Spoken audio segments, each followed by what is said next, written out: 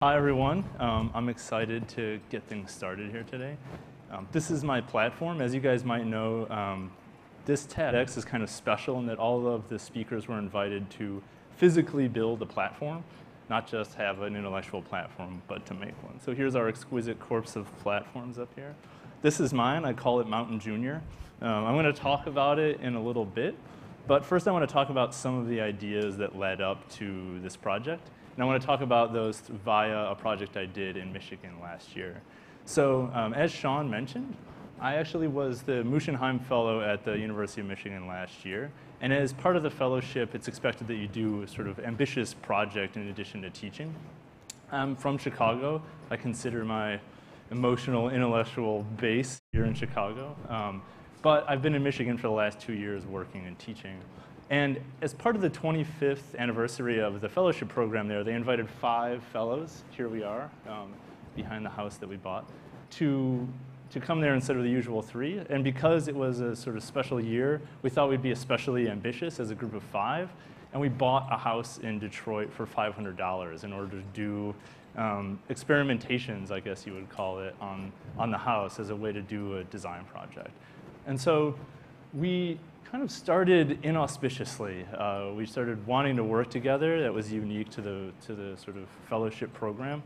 And we didn't really know how to work together. And somebody just threw out, well, why don't we buy a house? Um, un unbelievably, we knew some people who had been doing this in Detroit. They've been buying up houses cheaply, working on them as an artist design uh, collaborative called Design 99. So we went to talk to them. And they said, well, the auction is in five days. So you have to go like next week if you want to buy a house this year uh, in Detroit. So we had to act fast, and we just decided to do it. So you can see the, our auction numbers there. Two of us went there, the auction book. It's this crazy event where there's just page after page of gigantic amounts of property for $500 each, and nobody really bids on them. The starting bid is $500. Sure enough, we won the auction for one of the houses that we were bidding on. We bought it for $500 under the fake name Five Fellows LLC, which we just kind of made up on the spot. So uh, we bought, this is how Detroit works these days, unfortunately, but you can buy a house for $500 um, under a made up corporation. And uh, so that's where we started. That's where we started with the project. Um, this is the house. It's on Moran Street, no relation that I know. Uh, but this is the state that we found it in, like the day that we took ownership of it. Uh, the, there was a piece of plywood over the door. It's in a pretty quiet part of Detroit by Detroit standards. Um, but this is the backyard, totally overgrown. You couldn't get into the alleys, you know, no services. Um, and this is actually how we got in on that first day. This is my colleague Rosalind climbing in the window. And this is what we found when we came inside. It wasn't as empty as we'd expected. We had some uh, people, well, not people, we had some residents there, like some plants, and it seemed like people had been living there off and on for a while. Um, and we were excited. We didn't know what we just did, but we just bought a house and we were going to do something with it. Um, so the first thing we had to do, and this was guided um, very generously by Mitch and Gina, who'd been living, Mitch and Gina of Design 99, who'd been living in the neighborhood for years, said the first thing you have to do is board it up, make sure people know that people won't mess with it. So we boarded it up with their help. And then reality set in we just bought a house. Sure, it was only $100 each, but now what do we do with it? We just kind of made this gigantic gamble. And you can see there's snow on the ground, there was no heat, no electricity, no plumbing. And we thought, well, maybe that's what we can do as architects. We can kind of intervene on this house by just providing the basics. So uh, one person was going to redo the plumbing, another was going to um, you know, fix the enclosure and the windows. Someone else, myself, was going to build a wood stove for it. Um, but then reality set in, and we finally actually got uh, Detroit Edison to hook up the electricity, which took about four months. And once we got electricity, everything changed. We thought, well, now we can kind of do something more ambitious than maybe just kind of remedy this house. And we were really afraid of that way of working in Detroit since there are so many people um, that try to sort of remedy Detroit's problem through design. We were really suspicious of that, not because we don't think people in Detroit need help, but that we just didn't think that as designers we could really fix up one house and change the situation there. So instead, we really wanted to focus on the way that this house could be a medium for architectural experimentation. So we made our own uh, exquisite corpse. This is a plan of the house as we found it. We kind of divided it up into different territories so that we could each kind of operate in a separate part of the house, collaborate in a way on a, on a single project, but all work independently in the different parts of the house. So you can see me on that small green triangle in the middle there. Um, and what I wanted to do was actually add the house's missing stair. Like the house had a stair, but it was pretty much in disrepair, and you actually had to go through the bathroom to use it, which seemed like a weird thing to do. Um, and so for, for us as architects operating in this context, it was really exciting because we just had this medium of a house already given to us. So instead of sitting down at a blank slate and starting to make drawings, we actually just started doing things like this. Like this is how I started. I literally just cut a hole in the floor. I didn't know exactly what I was going to do yet. I didn't have any drawings. I just knew that I wanted to put a stair through the middle of this house, and so I just cut a hole in the floor. Um, and started to add in what would eventually become my intervention in the house. I really like this slide though because it shows my colleague Meredith using the saw in the same space that I'm constructing the, uh, constructing the piece in, and it really became this conversation between different design ambitions in the same space and how they would inform each other over the next few months was uh, really fascinating to me.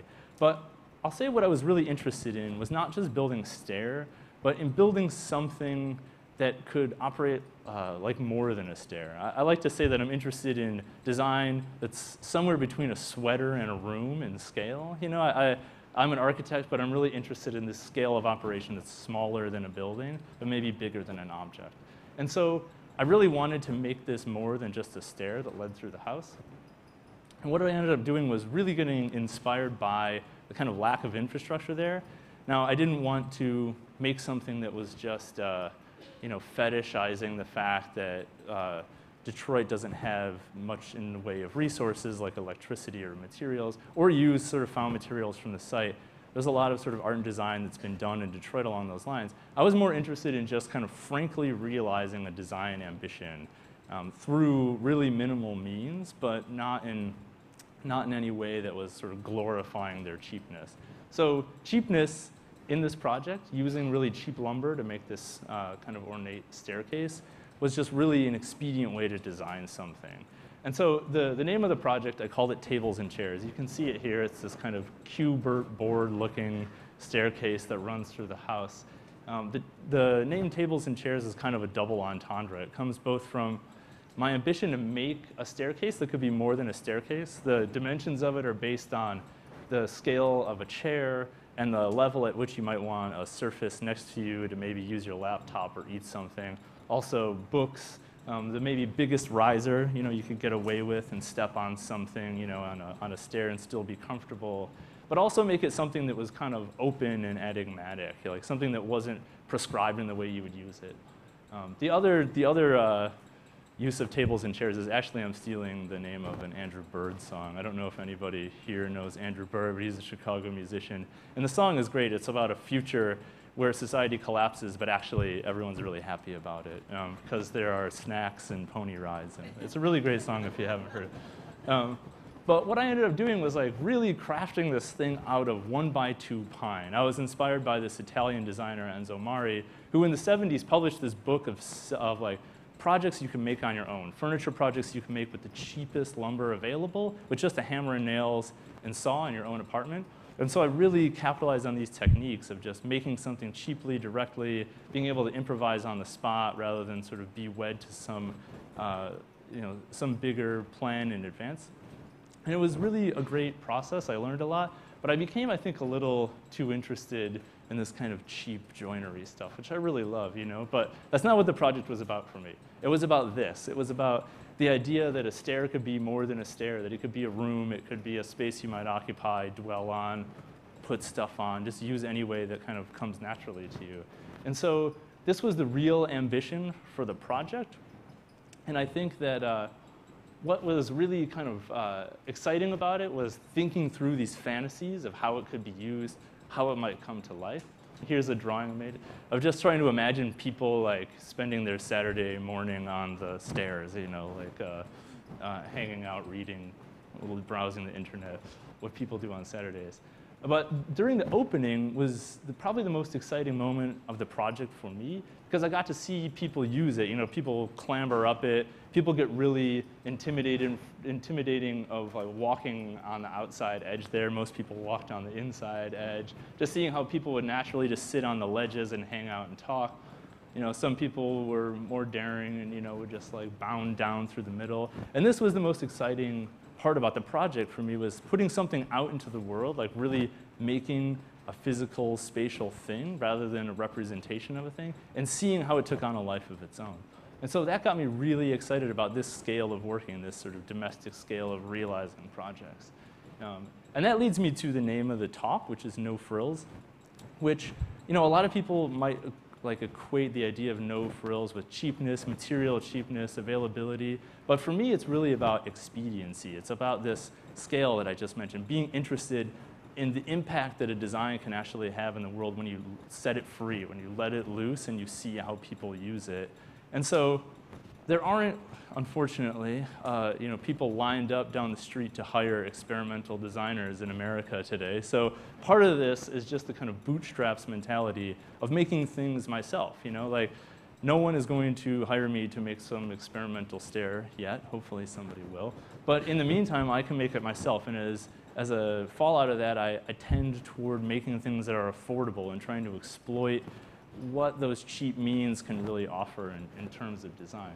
So no frills leads me back to my living room. This is my living room in Ann Arbor, Michigan.